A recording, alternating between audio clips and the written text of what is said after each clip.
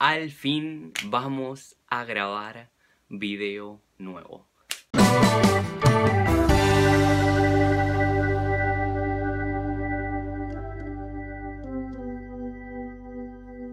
Esto es una serie totalmente nueva de lo que venía al canal, aunque me gusta hacer mucho esto. Leí el ebook de Earlynet y además inspirado en su canal, acá se los dejo, un activista tremendo, acá una foto. Y lo que quiero hacer es responder 30 excusas más comunes que escuchamos los veganos en 30 días. Van a ser 30 videos, vamos a tratar de hacer un video por día.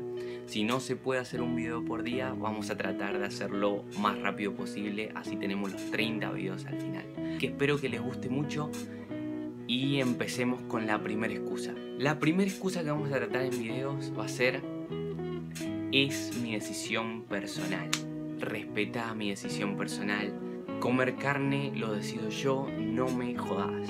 Pero acá vienen lógicas medias y lógicas.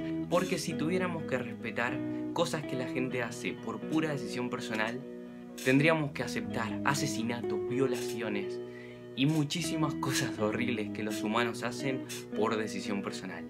O sea, algo que nosotros decidimos por pura decisión personal no hace que esto sea moralmente correcto o moralmente justificable, sabiendo que la carne viene de un animal vivo que no se le respeta su propia decisión personal de vivir. O sea, el punto de vista o la decisión personal de ese animal de querer vivir, nosotros no la respetamos, pero quieren que respetemos su propia decisión personal.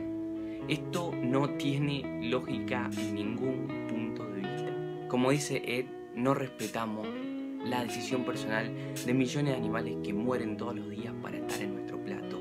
No respetamos la decisión personal de millones de peces que mueren todos los días por buques pescadores.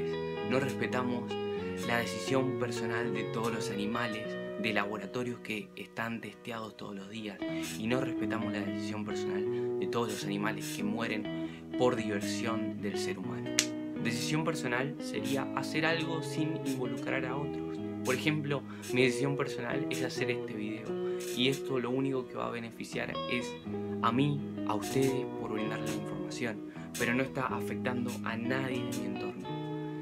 Decisión personal solo envuelve a la persona, por eso se llama decisión personal. Cuando decimos que decisión personal es comer animales, no es una decisión personal, porque no estamos respetando el punto de vista de la otra persona, el otro animal. Entonces, ¿cómo responderíamos si alguien nos dice que es su decisión personal comer carne?